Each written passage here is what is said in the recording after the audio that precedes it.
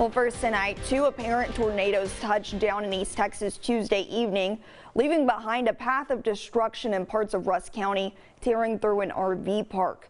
Fox 51's Raina Revel was one of the first reporters on the scene. She joins us now in studio after surveying the damage that was left behind. Raina. Katie, residents at Whispering Pines RV Park are still rattled from the storms that swept through the area on Thursday afternoon. The big hail started hitting the side, and I heard the roof leave.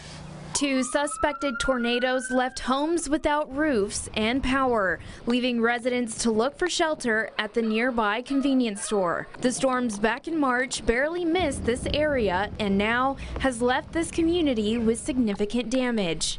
There were a couple of buildings that were turned over on their sides, uh, a couple RVs that were knocked off their blocks and relocated. Uh, not far, just pretty much picked them up and put them right back down.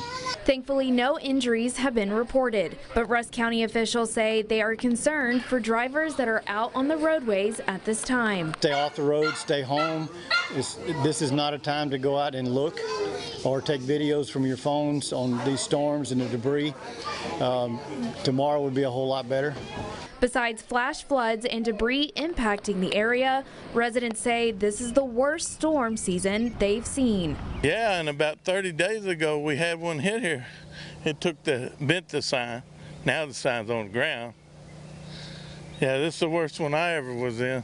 Rusk County first responders are still in response mode as they work to assess those who need assistance. We're working with the residents to identify who doesn't have a safe place to stay overnight, uh, trying to get them accommodations for that. Uh, after that, we'll move into more of a recovery effort to uh, you know see where you know we can help them go from there.